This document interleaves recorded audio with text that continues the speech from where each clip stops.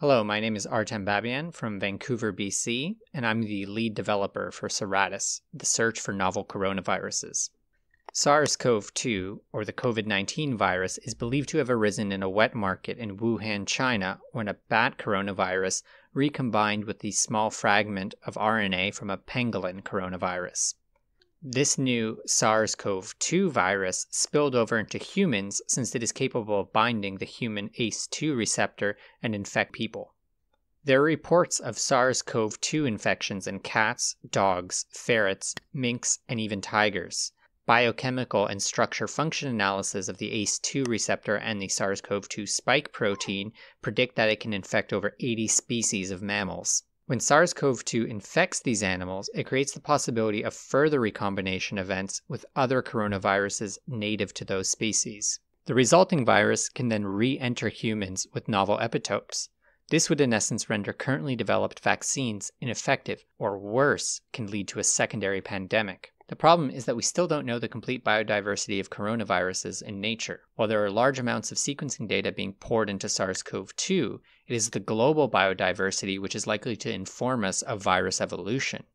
This is also complicated by the fact that most coronavirus species are only known from PCR amplicons and lack complete genomes. To discover new coronavirus sequences, we are reanalyzing all public sequencing data to look for both known and unknown coronaviruses. This is all RNA-seq, metagenomic, and metatranscriptomic data. This is about 3.4 million biological samples, or over 40 petabytes of uncompressed sequence data. Fortuitously, in February 2020, both Amazon Web Services and Google Cloud mirrored the entire SRA archive onto their internal servers, allowing for an unprecedented level of access to this data. To accomplish this, we have developed Ceratus, an ultra high throughput sequence aligner based off of Amazon Web Services. This architecture was designed from the ground up with massive scale alignment in mind. Every design choice came down to aggressive cost optimization and to decentralize the workload as much as possible. This was critical as you'll see that it allowed us to essentially bypass conventional limits on big data processing. The bioinformatics workflow is quite simplified with each process optimized for maximum CPU efficiency, not necessarily wall clock. We achieve scale by running many nodes simultaneously. While the NCBI FTP servers would not appreciate 5,000 simultaneous connections, this is a drop in the bucket for AWS. On a 4 CPU node, we run 4 parallel prefetch and fastq dumps, each single threaded to not lose CPU efficiency to sublinear scaling. Instead of writing the FASTQ file to disk, it is directly streamed on pipe to our S3 Scratch bucket. The way to think about this is that while a 96 vCPU metal instance can process the data much faster, it's more limited by disk and networking I/O. Instead, we use 24 times 4 CPU nodes, in effect creating a RAID 0 like system, multiplying our networking and I/O capabilities. This means that at scale, we have over 1400 nodes accessing over 5800 SRA accessions at once. Since DNA sequence alignment is what is called an embarrassingly parallel problem, meaning that each read pair can be aligned fully independently of one another, we could expand this principle of less is more CPU to another level. As each FASTQ file is being decompressed and written to the Scratch bucket, they are split into blocks of about 1 million reads, in this way, each alignment process can process a small block quickly and stably. Again, thinking about this from the perspective of reading data, an 80 million read library is not read once from start to finish, but simultaneously at 80 places. The same principle of CPU efficiency applies here. We use Bowtie 2 with very sensitive local settings, letting us detect divergent viruses from as little as 22 nucleotide seed matches.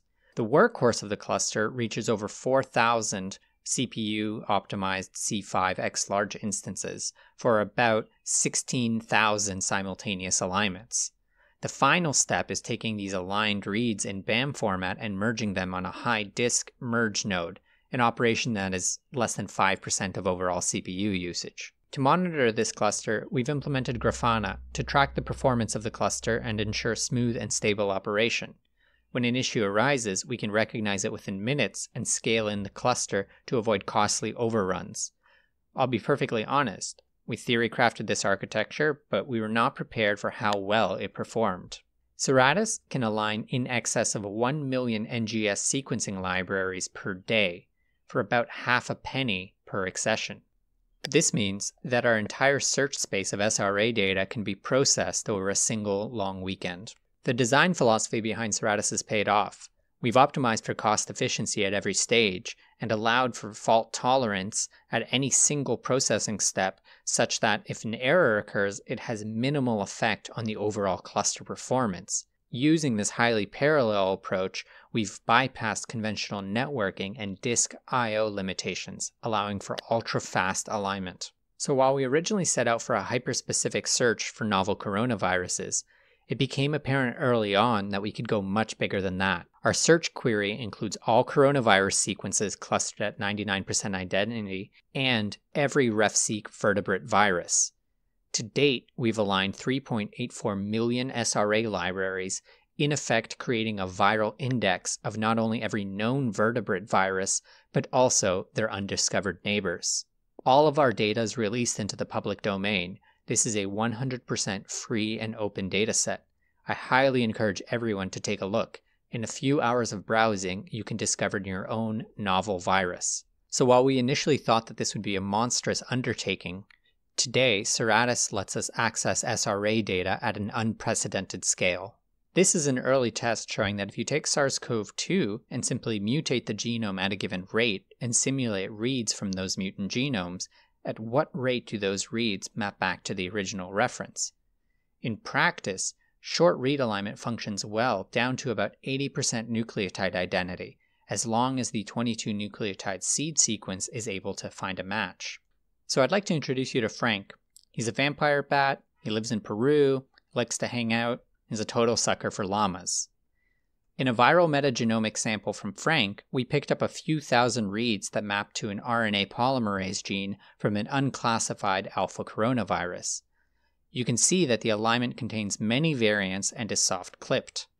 It's worth noting that the conserved cores of these genes, such as the catalytic center here for the polymerase, change more slowly and therefore you're able to pick up more reads in these regions. This is not surprising since evolution is highly non random you can see how something like the spike gene is rapidly changing and poorly conserved, while the RNA polymerase is well conserved.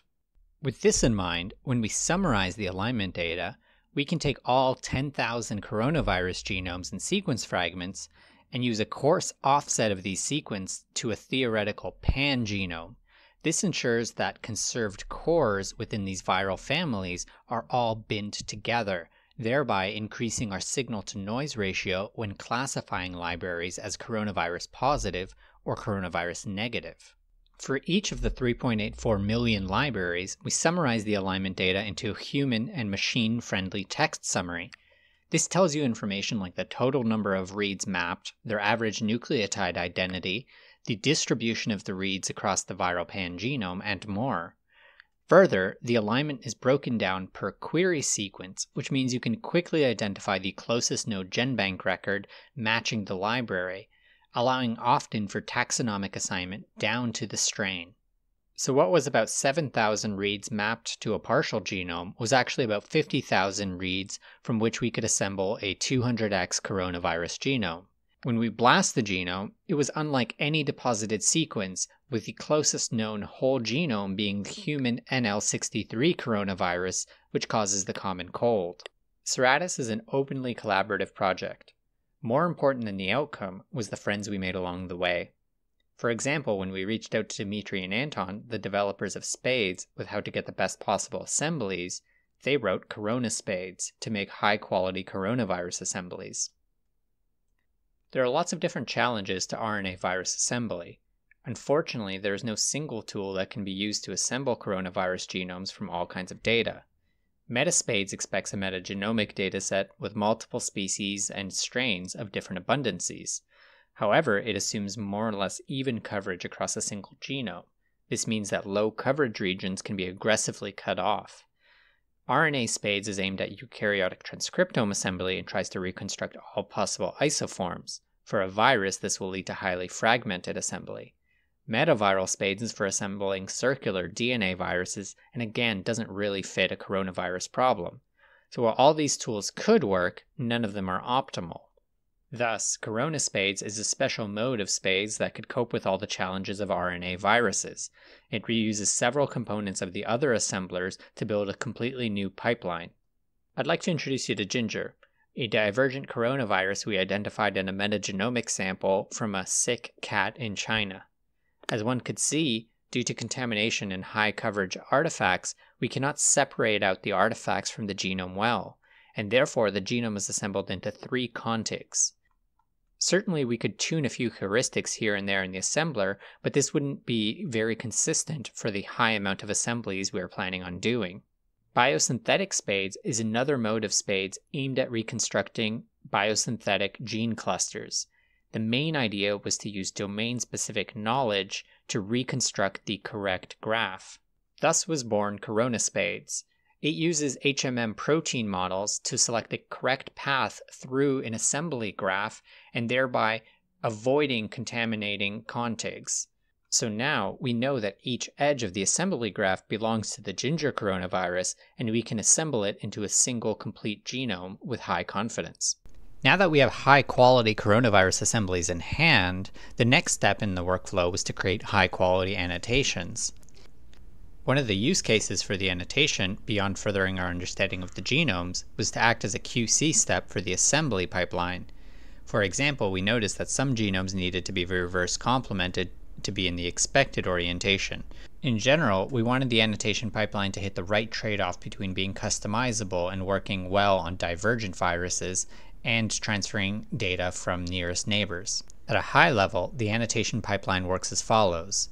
The core annotation of the genes and RNA secondary structures is done by Vader Viral Annotation Tool. In parallel, we realign the reads from the SRA sample into the assembly. This self-alignment is then used to predict variants, which are mainly used as a QC step for the assembly. Since Vader doesn't make use of all the available COVE-related models in RFAM, we also supplemented the Vader annotations with a scan of the genome for select RFAM models, like the 5' and 3' UTRs. After performing a literature search and trying a few different annotation engines, we finally settled on Vader by Eric Nawrocki at NCBI. Being a co-author of the Infernal RNA family search tool, the pipeline, unsurprisingly, makes heavy use of covariance models, which can be thought of as kind of a more flexible HMM for RNA sequences. This is an ideal search approach for annotating RNA viruses, as very often the RNA secondary structures are very heavily conserved. Once we have all these annotation pieces together, we can start to get a visual sense of these genomes that we've derived from the SRA. We visualize the depth of sequencing, we can look for nucleotide variants, and we can double check that the assembly makes sense. I'm hoping that by the time you're watching this talk, we have some of these things already completed. A functional website and API so that you can access viral reports for every sequencing accession, and a dump of all of the data into an SQL relational database for easy querying. The primary objective of Ceratus is to identify novel coronaviruses and other viruses and release the sequences publicly into GenBank right away. And I'm hoping that we have a few hundred of these done by now. Finally, besides just identifying novel sequences, I'm hoping to do a deep biological dive into some of these viral families and try to understand better how viruses evolve and change over time. Namely, what can we learn from the evolution of other coronaviruses and how it is spilt over into humans and caused this pandemic. Perhaps the biggest questions raised by Ceratus is not exactly what we did, but what this means for the future of bioinformatics. The ability to access SRA data, or really any data set at the petascale in a mere days, means we have to fundamentally reimagine what we can do as computational biologists. There's 20 years of exponentially growing sequencing data that already exists from the world research community. Our job is to stand on the shoulders of that research community and see over the horizon. Ceratus is an open science project. All the data, notebooks, and code is freely available. Most importantly, this has been an equal collaboration between many scientists who came together to do something to fight against this pandemic. By sharing our methods and ideas transparently, we could riff off one another and create something cool. If this sounds like something you'd be interested in contributing to, please reach out. I'd also like to give a special thanks to the UBC Kik team who have offered project support, especially Nicole and the AWS engineers who answered our sometimes annoying questions. Finally, I'd like to thank AWS for the use of their CPUs, and thank you for your time. Stay safe.